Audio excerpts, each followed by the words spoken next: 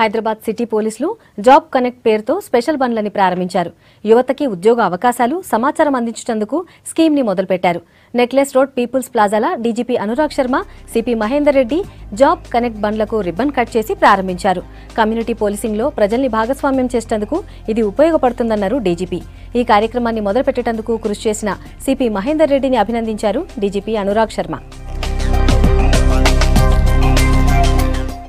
initiative తీసుకొని వాళ్ళందరూ jobless youth data collect చేసుకొని వాళ్ళని ఎవరెవరు జాబ్ ఇవ్వడానికి సిద్ధంగా ఉన్నారు వాళ్ళందరినీ ఒక ప్లాట్ఫామ్లో తీసుకొచ్చేసి స్కిల్ డెవలప్మెంట్ చేసి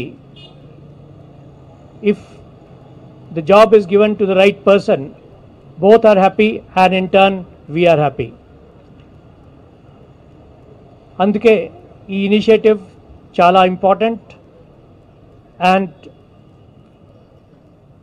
మహేందర్ రెడ్డి గారిని ఆయన టీంని తర్వాత టీఎంఐ గ్రూప్ని అందరినీ నేను